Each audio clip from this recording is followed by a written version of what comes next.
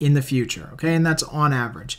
So we can say that, okay, implied volatility, which is sitting right here at the 56th percentile, is over that 50th percentile that we use and therefore becomes relatively high implied volatility.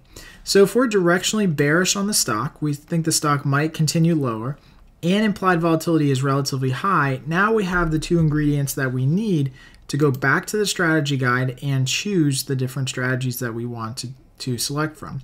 So we're not going to choose the bullish section, so we're going to keep scrolling down past that. We're not going to choose any neutral because we're not neutral on the trade. And we're finally going to end up here with the bearish section. So we are bearish on the stock. That's good. And then you can see we have the choice. Are we in a high IV rank situation or a low IV rank situation?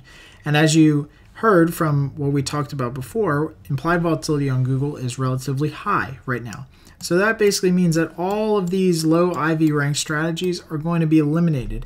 And what we're left with are just three different choices to choose from. We have the credit spread that we can choose from, the short